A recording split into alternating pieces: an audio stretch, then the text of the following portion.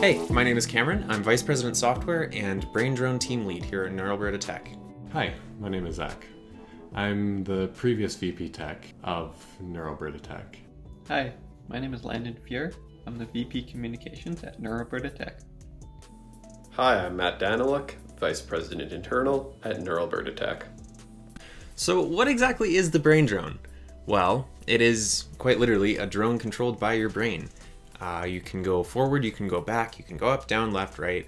Uh, you can do all of the normal drone commands, except you don't actually need a controller to do it. All of it is controlled via your brainwaves using an EEG headset. EEG stands for electroencephalogram, which is a method of non-invasively measuring your brain's activity by placing electrodes on your head. This right here is an EEG headset. It is one made by OpenBCI. It's a 16 channel headset, which means that there is 16 electrodes placed at various places around my head that measure my brain's activity. This specific headset has a sample rate of 250 Hz, which means that it sends my brain's data to a computer via this 250 times a second.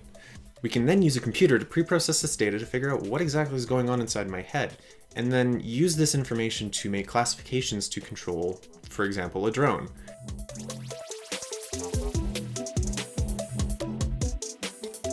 When we first started this project, it very naturally broke itself into four different pieces. Those pieces are the research, connecting the BCI to the computer, connecting the drone to the computer, and then connecting the BCI to the drone via the computer.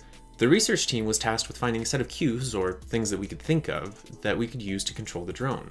These cues needed to be easily differentiable, so that a BCI like the OpenBCI could easily pick up on the subtle differences, and we could pass that information into a machine learning algorithm to confidently classify our different cues.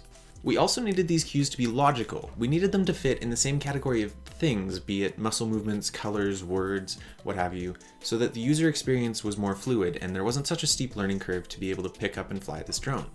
And finally, we needed the brain to be able to switch between these cues as fast as possible. We wanted the brain to be able to switch states in a reasonable amount of time so that controlling the drone wasn't impossible and so that you weren't flying it into walls all the time. Now the second natural step was to connect the OpenBCI to the computer.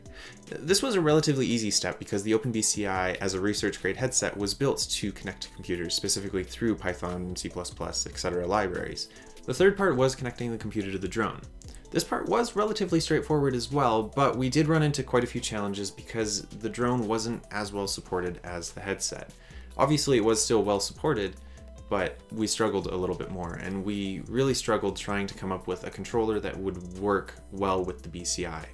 We could program a controller that worked perfectly with Python and you could program it and get it to do exactly what you want within a script, but it was challenging to try and write a real-time controller that was smart enough to be able to be compatible with the BCI in the first place.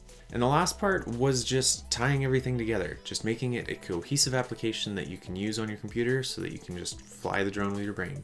Theoretically, this would have been the easiest part, and practically speaking with the code it was, but it ended up being the place where a lot of our smaller bugs that were kind of hidden away in previous iterations of our code really started to show themselves, and this is where a lot of time was spent on development, just perfecting it and getting it to work so what exactly does it look like to fly the brain drone?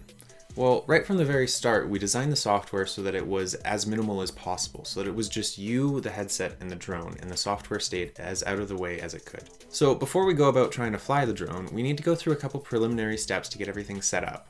So first we need to connect the OpenBCI to the computer and run a handful of diagnostics tests to make sure that we don't have any rail channels and to make sure that we're getting some data that we actually expect to be getting.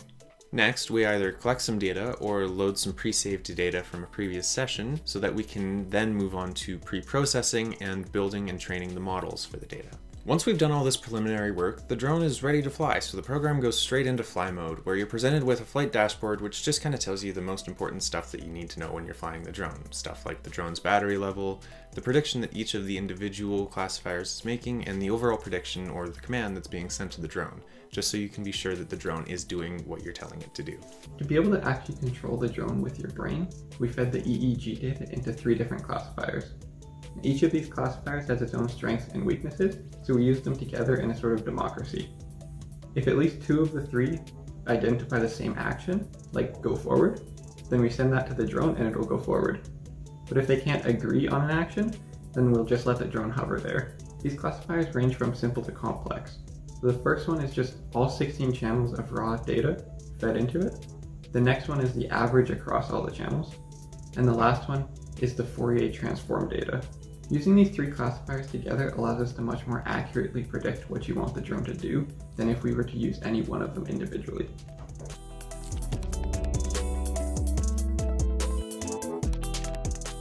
So you may ask, why did we make the brain drone? Well, by making the brain drone, we wanted to create a proof of concept that accomplished two things. Firstly, we wanted to show an example of a real-time application for classifying brain states using EEG and machine learning that was accurate enough to perform a sufficiently complex task. And secondly, we wanted a project that was fun, not purely academic, so that we could appeal to a wider audience and get more people interested in neurotechnology, which is one of the core goals that we hope to accomplish with NeurAlbertaTech.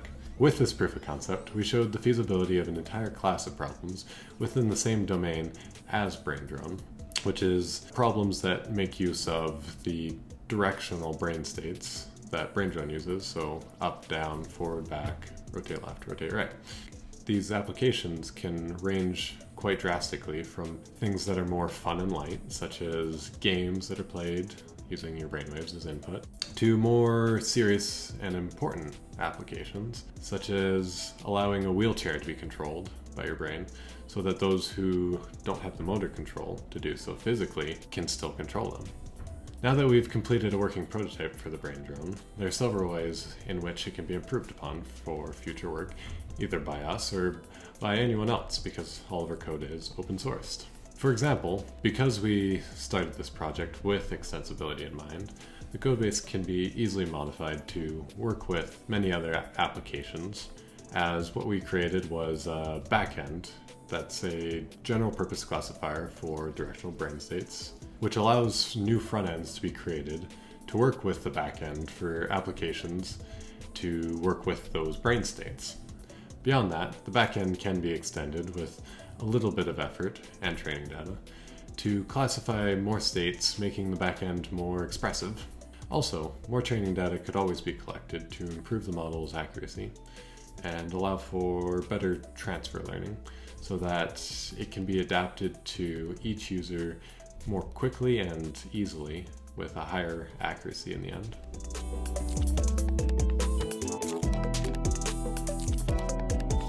We actually ended up facing quite a few big and small challenges while completing this project. Likely the biggest problem that we ended up having to face was the logistics. At the beginning of this year, when we were first getting into this project, the logistics really weren't that much of a concern.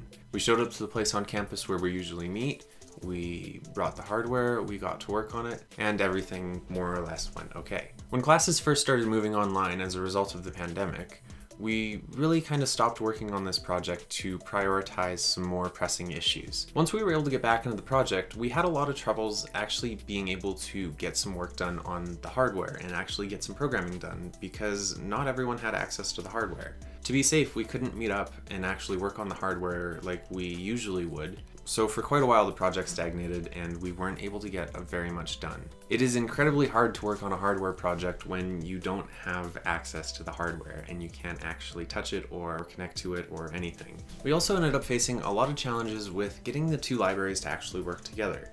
So we were able to connect the OpenBCI to the computer just fine and train it and collect data and predict our data with relative ease.